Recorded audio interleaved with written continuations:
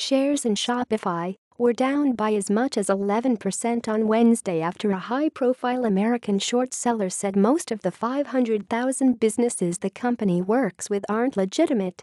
Citron Research's Andrew Left released a video Wednesday morning alleging that Ottawa-based Shopify's hype is unsustainable and argues the stock should be worth half what it is. Shopify makes money by helping small and medium-sized businesses sell their products and services online by handling all of the back-end logistics of payments, inventory and web design via a cloud-based service.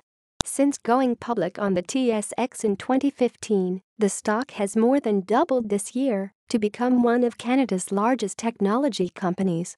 But in his video and accompanying website, Left alleges that most of the company's customers aren't legitimate businesses, but rather simply people who'd have been sold dubious business opportunities built around reselling, which goes against Federal Trade Commission rules.